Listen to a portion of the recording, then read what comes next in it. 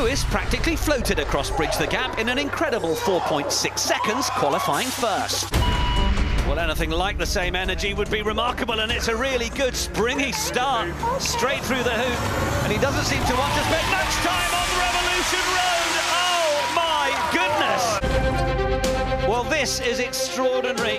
He just doesn't want to hang around on any of our obstacles, does he? Straight through the hoop, then the agility to spring through the last two black platforms and on to the other side. Did you just do that? I don't know.